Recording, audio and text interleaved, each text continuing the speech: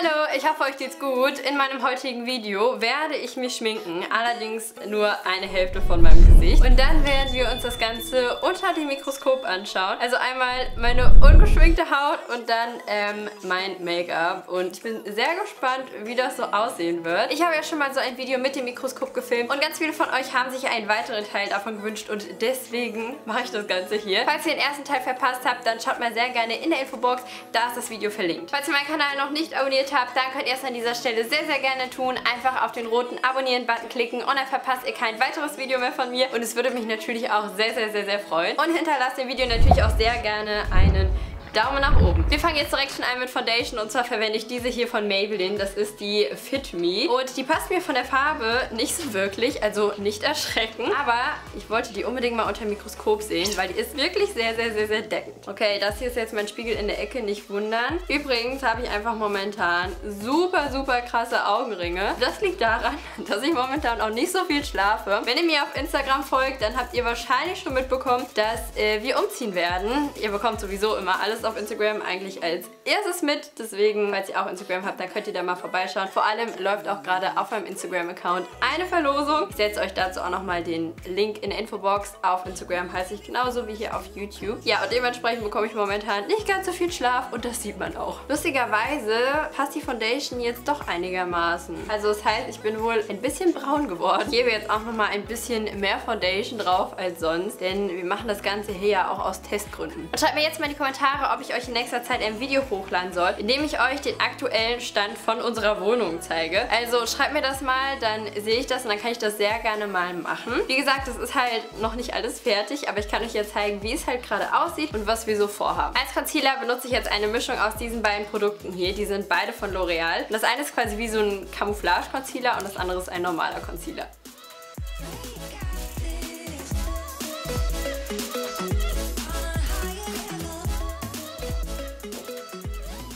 Der Beauty-Schwamm, den ich hier gerade verwende, der ist übrigens von Dior. Und wer meine ganzen letzten Videos intensiver geschaut hat, der kennt das Ding hier auch. Denn das habe ich mal gekauft in einem Video, in dem ich den günstigsten Artikel von Dior gekauft habe. Das nächste Produkt, das ich verwende, ist ein Puder und das hier ist von Benefit. Und wie ihr seht, benutze ich das schon relativ häufig. Als nächstes verwende ich dann hier diese Palette. Das ist die Kat von D Shade and Light Contour Palette. Und aus dieser Palette nehme ich einmal hier diesen etwas gelblichen Ton und gebe den nochmal auf meinen Concealer drauf, um den auch zu setten. Und der gelbliche Unterton sorgt auf jeden Fall dafür, dass meine untere Augenpartie ein bisschen besser aussieht. Und dann gehe ich jetzt hier in die Konturfarben rein und gebe das dann unter meine Wangenknochen.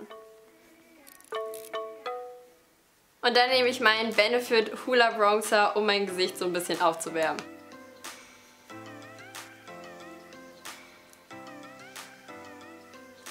Wie ihr seht, liebe ich Bronzer einfach nur über alles. Leute, wirklich. Manchmal trage ich einfach nur so ein bisschen Concealer, Bronzer und Mascara auf. Und das ist für mich einfach schon so das perfekte Alltags-Make-up. Als nächstes verwende ich dann diese Palette hier von MAC. Die sieht einfach mega cool aus. Wenn man die öffnet, dann sieht das so aus. Sie hat übrigens auch einen mega, mega coolen großen Spiegel. Deswegen verwende ich diese Palette hier auch immer sehr gerne zum Reisen. Und da ist auch einfach so ein Bronzer-Ton drin. Ein Highlighter, der auch wirklich sehr schön ist. Und dann noch so ein Rouge-Ton. Und den werde ich jetzt auch auftragen.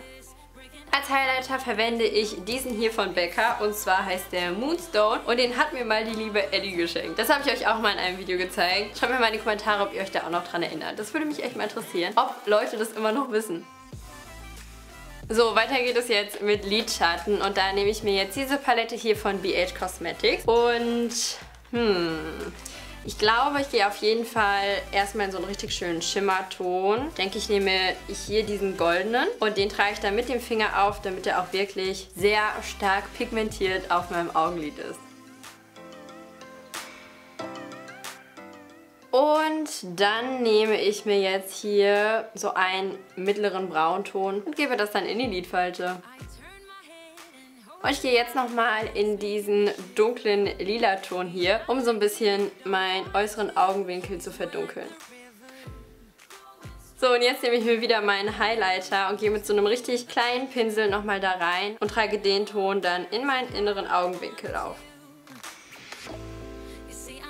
Jetzt springen wir einmal kurz zu den Augenbrauen, bevor ich mit dem eigentlichen Augen-Make-up weitermache. Und zwar verwende ich da diese beiden Produkte hier von Benefit. Und zwar einmal die Farbe 1 und einmal die Farbe 3. Ich hatte auch mal die Farbe 2, aber die ist mir leider schon leer gegangen. Und ich verwende die Farbe 1 eher so im vorderen Teil meiner Augenbrauen und die 3 dann im hinteren Teil. Und übrigens sehen meine Augenbrauen momentan richtig, richtig fürchterlich aus. Ich lasse sie mir nämlich demnächst waxen und deswegen habe ich sie jetzt einfach wachsen lassen, weil ich mir die ganze Zeit gedacht habe, dass es sowieso keinen Sinn macht, die jetzt zu zupfen und dementsprechend sehen meine Augenbrauen auch gerade aus.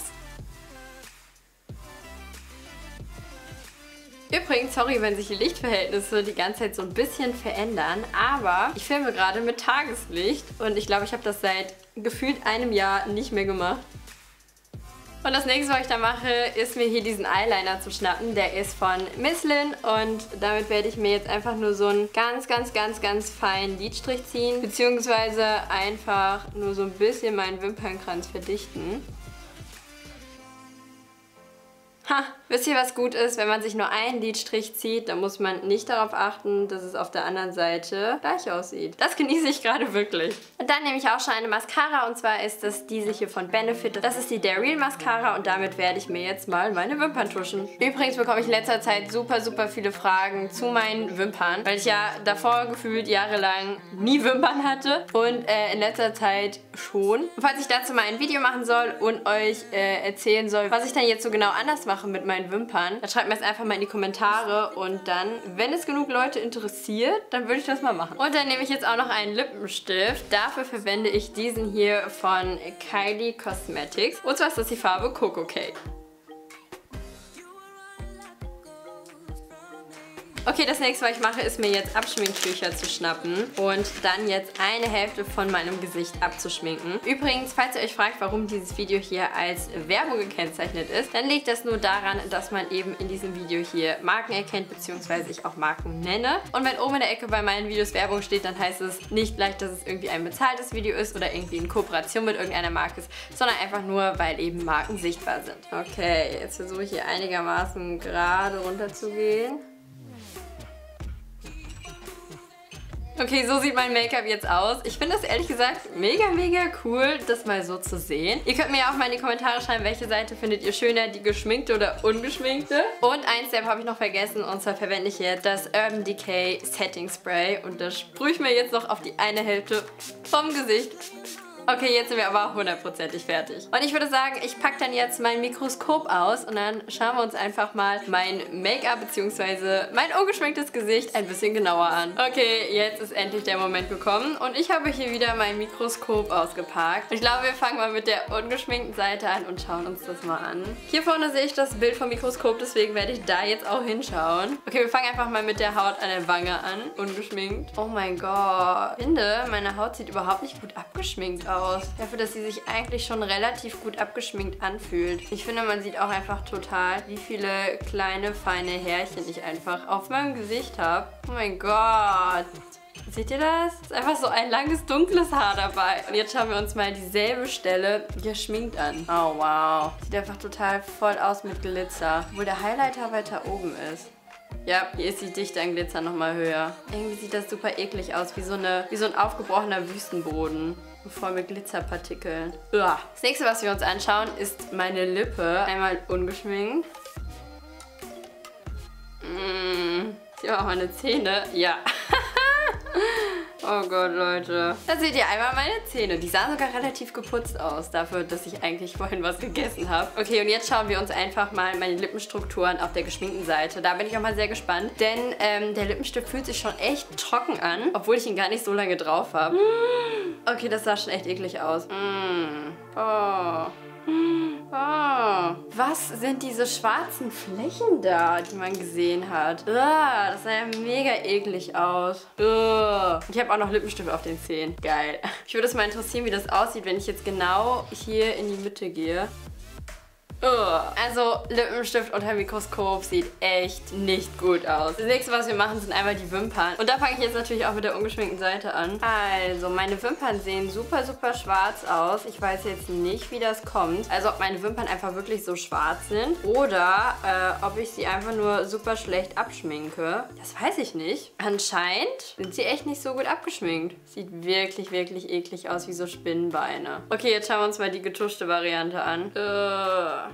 Okay, ich finde, da sieht die Mascara fast schon so ein bisschen klümpchenhaft aus. Also man sieht definitiv doch einen Unterschied zwischen getuschten und ungetuschten Wimpern. Das heißt, ich würde einfach mal bei meinen echten Wimpern behaupten, dass sie tatsächlich einfach so schwarz sind und jetzt nicht unbedingt, dass da noch so viel Mascara-Reste dran sind. Weil die Mascara-Reste, die sahen echt schon ein bisschen komisch in der Kamera aus und das war bei meiner ungeschminkten Variante ja nicht so. Das nächste, was wir uns anschauen, sind die Augenbrauen, ungeschminkt. Ugh. Ich finde, dass so Haare im Mikroskop immer relativ eklig aussehen. Und zwar immer so mega fettig. Wie man sieht, habe ich echt richtig, richtig krasse Lücken zwischen den Augenbrauenhärchen. Und ich finde, man sieht auch, dass meine Augenbrauenhärchen alle sehr unterschiedliche Farben haben. Also so ein paar hellere und so ein paar dunklere. Also richtig verrückt. Und äh, dann schauen wir uns jetzt mal die geschminkte Variante an. Oh, ah. Ich glaube, man sieht ganz deutlich, wie sich dieses Augenbrauenprodukt einfach auf die Augenbrauen gelegt hat. Ah. Sieht quasi einfach nur dreckig aus, obwohl es einfach nur geschminkte Augenbrauen sind. Also ja, auch deutlich anders als die ungeschminkte Variante und echt nicht so appetitlich. Ich hoffe, ihr fandet das Ganze mal cool und interessant. Wenn ja, dann hinterlasst dem Video auf jeden Fall einen Daumen nach oben. Das würde mich sehr freuen. Und mir hat es auf jeden Fall mal Spaß gemacht, das Ganze auszuprobieren. Und ja, so ein geschminktes Gesicht sieht unter Mikroskop schon relativ eklig aus, muss ich sagen. Falls ihr jetzt noch ein bisschen Zeit übrig habt, dann klickt sehr gerne hier oben auf das i. Dort findet ihr ganz, ganz viele weitere Videos von mir. Oder ihr könnt euch auch eins von diesen beiden Videos hier anschauen. Das eine ist ein Video, in dem ich euch Beauty-Produkte unter dem Mikroskop zeige. Und das andere ist ein Video, in dem ich über meine Schulzeit erzähle. Hier sind meine Social Media Seiten. Hier könnt ihr euch abonnieren und ich wünsche euch einen wunderschönen Tag und bis zu meinem nächsten Video. Tschüss!